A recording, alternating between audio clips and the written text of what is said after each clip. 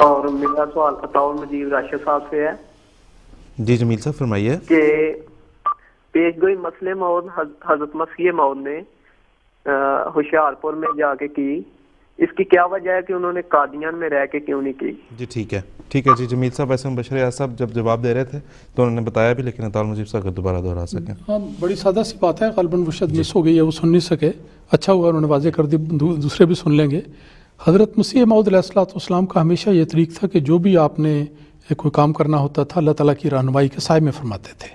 اس لیے اس موقع پر بھی یہ تاریخ میں مدون ہے کہ حضرت مسیح معود علیہ السلام نے فرمایا کہ مجھے اللہ تعالیٰ نے الہامن بتایا کہ تیری عقدہ کشائی ہوشیار پور میں کی جائے گی۔ تو اس لیے جب اللہ تعالیٰ نے خود معین طور پر ایک جگہ کا ذکر کر دیا، تو سوال ہی پیدا نہیں ہوتا تھا کہ حضرت مسیح محمد علیہ السلاۃ والسلام اس کے علاوہ کچھ سوچتے یا کسی اور جگہ تشریف لے جاتے، تو اللہ تعالیٰ کے ایما پر، اللہ تعالیٰ کے ارشاد پر آپ نے اس جگہ کا انتخاب فرمایا۔ اس کی حکمت اللہ تعالیٰ جانتا ہے، لیکن ہمارے لیے تو یہ حکمت بہت کافی ہے اور بڑی واضح ہے کہ جب اللہ تعالیٰ نے خود نشاندہی فرما دی، تو اسی کی تعمیل کرنا لازم تھا۔ بالکل ٹھیک، بہت شکریہ۔ مجیب صاحب۔